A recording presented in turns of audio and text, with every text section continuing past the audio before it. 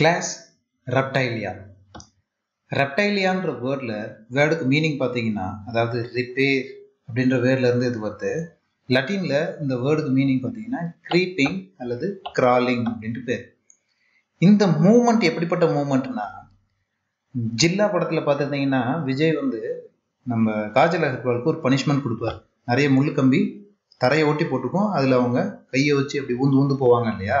அந்த type of மூமெண்ட்டுக்கு பேர் தான் க்ரீப்பிங் ஆர் கிராலிங் மூமெண்ட்னு சொல்லுவோம்.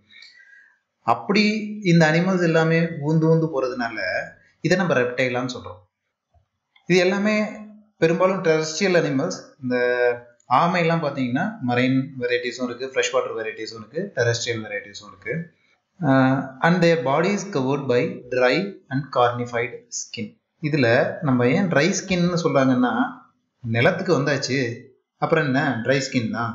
இப்போ வெட் ஸ்கின்னாக இருக்கக்கூடிய அனிமல் என்ன பண்ணும் அப்படின்னா பெரும்பாலும் கியூட்டேனியஸ் ரெஸ்பிரேஷன் முறையில் சுவாசிக்கும். அதாவது நம்ம மண்புழுவை பார்த்துக்கலாம் அது தன் தோல் ஈரமாக இருந்தால் மட்டும்தான் உயிர் வாழ முடியும். தன் தோல் காஞ்சு போயிடுச்சு அப்படின்னா அந்த மண்புழு செத்துரும். அதனால தான் மண்புழு எப்போவுமே ஈரமாக இருக்கக்கூடிய இடத்துலையே நம்ம பார்க்க முடியும். Dry and cornified skin cornified ஸ்கின்னா அந்த ஸ்கின்னை பொறுத்தளவில் நம்ம கொஞ்சம் ஒரு மாதிரி சொர சொரன்னு இருக்கும். அதை நம்ம வந்து சாப்பிட முடியாது. இது என்ன ஒரு ப்ரொடெக்ஷன் அப்படின்னா நம்ம கெராட்டின் அப்படின்ற ஒரு ப்ரோட்டீன் இருக்குது இந்த கெராட்டின் தான் நம்ம முடியில் இருக்கிறது மாடோட கொம்பில் இருக்கிறது. இந்த கால்நடைகளோட குழம்புன்னு சொல்லுவாங்க இல்லையா பாதம். அது ஒரு மாதிரி கருப்பு கலரில் நல்லா கல் மாதிரி இருக்கும் தெரியுமா? இந்த லாடம்லாம் அடிப்பாங்க இல்லையா? ஓகே. அது மாதிரி இருக்கக்கூடிய விஷயங்கள் எல்லாமே கெராட்டின் அப்படின்ற ப்ரோட்டீனால் ஆனது அந்த கிராட்டின் செக்ரீஷன் பண்ணக்கூடிய ஒரு லேயரை தான் நம்ம கார்னிஃபைடு ஸ்கின்னு சொல்கிறோம் அதாவது கெராட்டினைஸ்டு ஸ்கின் இது ரொம்ப ஸ்ட்ராங்காக இருக்கும். எந்த விதமான பாக்டீரியாவையும் உள்ளுக்குள்ளே விடாது.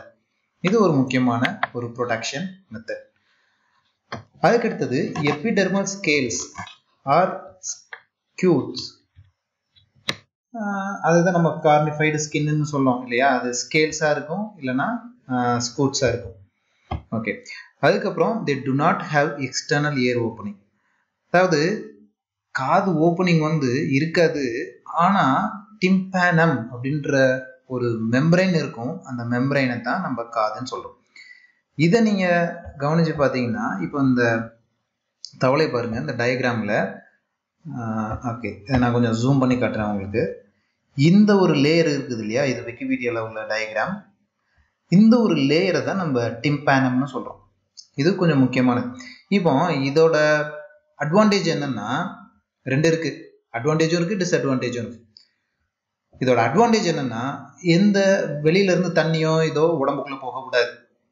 டிஸ்அட்வான்டேஜ் என்னன்னா இது என்ன சவுண்ட் வேவை வாங்குதோ அந்த சவுண்ட் வேவை அப்படியே பிரெயின் அனுப்பிடும் ஆனால் நம்ம காதில் அதாவது மேமல்ஸோட காதில் எல்லாம் பார்த்தீங்கன்னா சவுண்டு வேவை வாங்கி அதை ப்ராசஸ் பண்ணி அதுக்கப்புறம் தான் நம்ம பிரெயினுக்கு அனுப்புவோம்.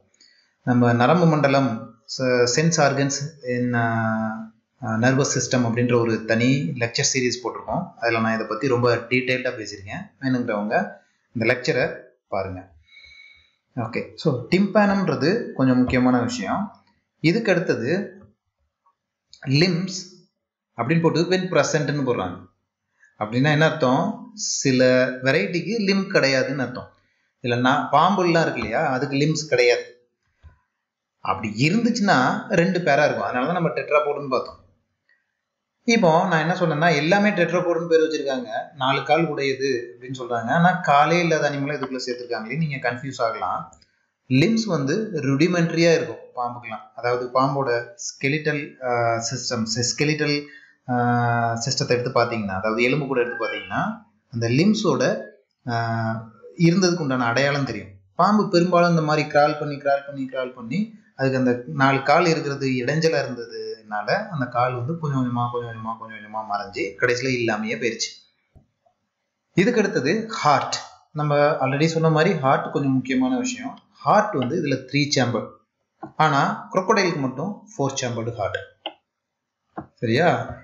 ஓகே இப்போ என்ன தெரியுது? குரொக்கடைல்ன்றது ரெப்டைலியா அந்த குரொக்கடைல தவிர மற்ற எல்லா ரெப்டைலியாவுக்கும் த்ரீ சேம்பர்ட் ஹார்ட் இருக்கு. குரொக்கடைலுக்கு ஃபோர் சேம்பர்ட் ஹார்ட் இருக்குன்னு தெரியுது.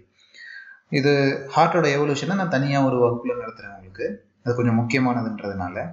Reptiles are poikilotherms நம்ம திருப்பியும் பார்த்தோம். பொய் தேர்ம் அதாவது டெம்பரேச்சர் என்விரான்மெண்ட்டோட டெம்பரேச்சர் தான் அதோட பாடி டெம்பரேச்சர் அதுக்குன்னு பாடி டெம்பரேச்சர் கிடையாது. Snakes and lizards shed a scales as skin cast இதை தான் நம்ம என்ன சொல்கிறோம் பாம்பு தோல் உரிக்குதுன்னு சொல்கிறோம் இல்லையா? அதுதான் இது. இது ஸ்னேக்ஸும் பண்ணும் லிசர்டும் பண்ணும். பூச்சி இனத்துலையும் இது உண்டு. தோல் உரிக்கிற ஒரு சமாச்சாரம்.